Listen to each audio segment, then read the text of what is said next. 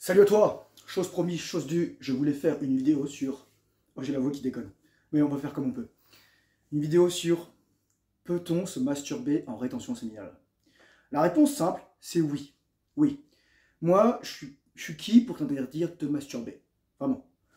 La question c'est qu'est-ce que tu recherches? Est-ce que tu recherches la gratification instantanée? Est-ce que tu cherches à éjaculer? Est-ce que tu cherches à évacuer la pression? Est-ce que tu cherches à avoir du plaisir? Est-ce que tu cherches à te détendre? Est-ce que tu cherches à explorer et à connaître ton corps? Est-ce que tu es conscient de ce que tu fais?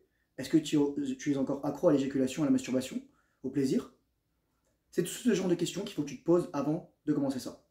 Donc, moi, je vais, je vais répondre très simplement. Je vais essayer la, réponse la plus complète possible à ce niveau-là. Le but de la masturbation, c'est de mimer le vagin d'une femme pour éjaculer. Basta. Basta, basta. au truc le plus simple.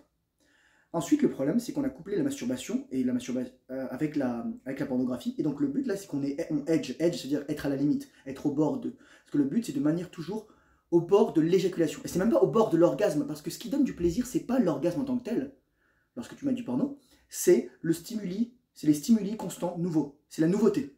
Et Gary Wilson en parle extrêmement bien dans Your Brain on Porn.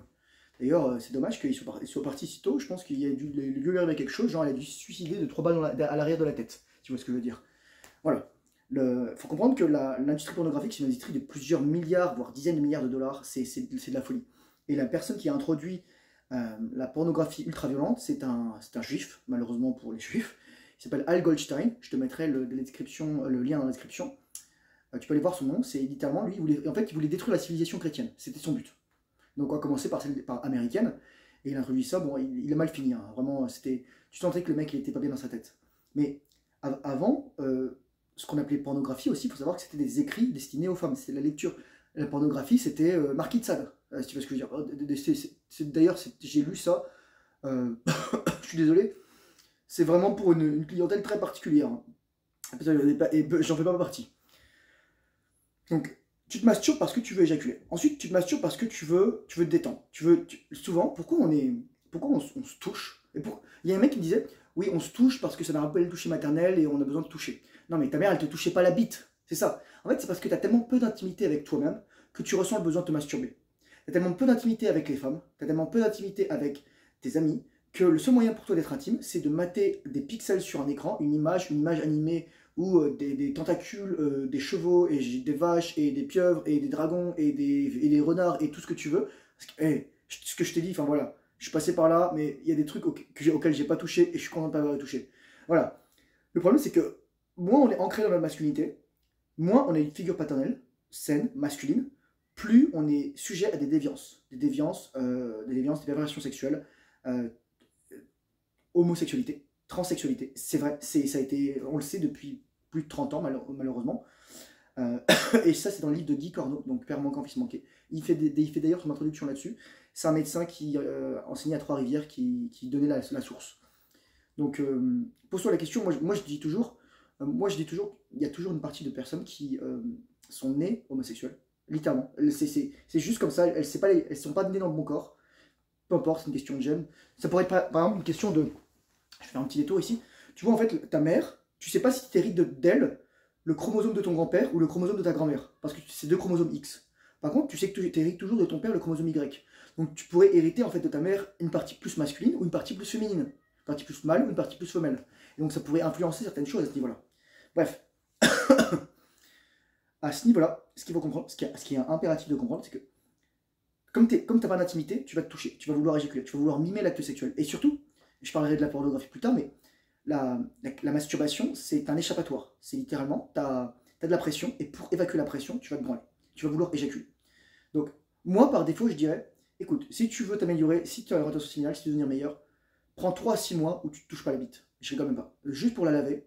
Et euh, voilà. Et surtout, tu vas voir un truc, c'est que il y a des mecs qui parfois me disent Ah oui, je masturbe pour voir si, je suis encore euh, masculin, etc. Ou je mate du porno pour voir si j'arrive encore à une érection. Euh, le matin, en fait, c'est le matin que tu dois savoir. Moi, le matin, c'est garde à vous, mec. C'est ça, quoi. J'ai jamais eu. Enfin, je pense que c'est ça le meilleur exemple de ta testostérone. Tu sais, tu sais littéralement. En fait, t'as pas besoin de faire prise de sang si ton, zizi, c'est un rock. Tu le sais. Voilà. La dysfonction érectile physiologique, pas psychologique, et le premier signe du haut de testostérone. Après, psychologique, c'est aussi un, problème de stress, donc c'est probablement aussi une base de testostérone. Et voilà. Donc, est-ce que tu peux masturber? Oui, tu peux masturber, mais pas tout de suite. En fait, moi, ce que je te conseille, c'est comme pour, avec les femmes, tu dois t'en détacher pour revenir vers elles. Et pareil avec la masturbation, pendant très longtemps, mec, t'as été accro à la masturbation, t'as été accro à la pornographie. Tu t'es pas juste masturbé dans ta main, tu t'es parfois masturbé dans le vagin d'une femme. Et les mecs qui me disent oui, il faut être un mal dominant, il faut, faut, faut, défoncer la femme, etc. Oui, mais tu peux défoncer la femme en, en mettant le focus, entre guillemets, sur elle, c'est-à-dire que tu, tu, la, tu, la, tu, la, tu la rames, quoi. Rame, tu, la, tu, la, tu lui mets un bélier dans le, dans le, dans le vagin, c'est ça. Ou euh, t'es es juste concentré sur toi, sur ton petit plaisir, sur oh, mais faut que j'éjacule, oh, ta prostate qui se contracte. Ah. Je, peux, je peux même plus mimer et l'orgasme qui en découle, l'orgasme, parce que je sais plus que ça fait. Je sais littéralement plus que ça fait. C'est juste ridicule. Donc moi, ce que je te dis, mec, prends 3-6 mois, te touche plus la bite. Pourquoi ça prend autant de temps? Parfois, prend, prend même jusqu'à un an, un an d'abstinence sexuelle. Et bon, t'es un mec, donc t'as été abstinent pendant des, années, des décennies, donc c'est bon, c'est pas une année de plus qui va te faire chier. Mais là, tu vas le faire de manière consciente. Tu vas le faire de manière, je subis pas parce que tu sais qu'il n'y a pas de misère sexuelle. Il n'y a pas de misère sexuelle pour les hommes. Moi, je, je, déteste entendre ça. Les hommes, ils ont pas besoin de cul. Les hommes, ils s'en battent les couilles. Les hommes, ils peuvent vivre leur vie seuls. C'est d'ailleurs le, plus grand outrage que les hommes font aux femmes, c'est de leur dire que, aux femmes, nous, on n'a pas besoin de vous pour devenir des hommes. Nous, on n'a pas besoin de vous pour euh, mener une vie saine. On a besoin de vous pour être équilibré émotionnellement. Et c'est vrai, c'est la vérité. Après, est-ce que tu as besoin d'une femme pour avoir des enfants? Bien entendu. Tu as besoin, enfin, besoin d'une femelle avant tout. Ah, éventuellement, si c'est une femme, tant mieux. Mais c'est ça. C'est à toi de voir où tu veux te situer. Mais c'est pour ça que les, féministes, les femmes en général, gueulent autant sur les mecs qui, font leur vie, sur MGTOW, Men Going Their Own Way, sans être forcément red pill ou alors euh, machiste, masculiniste, tout ce que tu veux, on s'en bat les couilles. Juste, nous, on fait notre vie dans notre coin et les gens viennent nous faire chier. C'est vraiment ça en fait. C'est ça le truc. C'est tu fais ta vie dans ton coin, il y a toujours un, un, pecno qui va venir t'emmerder. Et c'est ça. Et donc, t'as pas de misère sexuelle, donc t'as pas de besoin de te masturber. En fait, moi je dis ça souvent. Les gens disent oui, mais les hommes d'église ne masturbent pas, etc. Ils pratiquent la rétention. Je, je le dis toujours, j'ai jamais rencontré un homme d'église qui m'a fait de l'effet d'un point de vue énergétique. Pour moi, D'ailleurs, quand je vois leur gueule, la plupart des hommes d'église, euh, soit ils ont bu trop, de vin de messe, ils ont des tas de coups sur la gueule, ils ont le nez boursouflé, euh, ils ont les vaisseaux pétés, etc. Euh, soit ils, ressemblent à rien, soit ils sont dans leur délire théologique. Et pour moi, les plus grands croyants, c'est pas les hommes d'église, encore une fois, c'est les scientifiques qui, s'intéressent vraiment à l'essence de la matière, à l'essence de la réalité. Les biologistes, les physiciens, les chimistes. Bon, je fais, un petit détour. Donc, est-ce que tu, tu peux te masturber? Ensuite, après 6 mois ou un an, lorsque vraiment tu as, déconditionné ton cerveau, et je vais dire pourquoi ça prend du temps à déconditionner, parce que la plasticité cérébrale, ça va dans les deux sens. C'est-à-dire qu'il y a de l'inertie.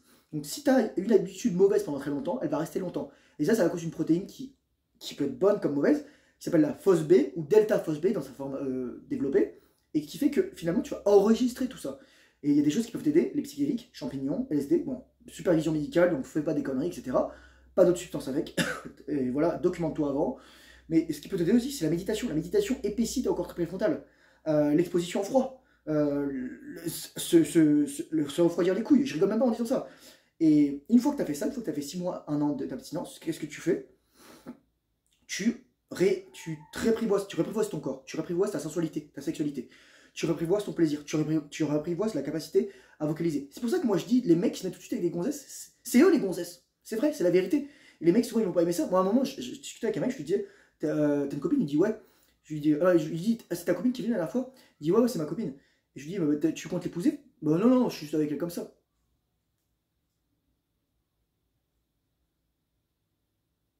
Ok, ok. Mais en fait, je l'ai fait, donc je, comprends.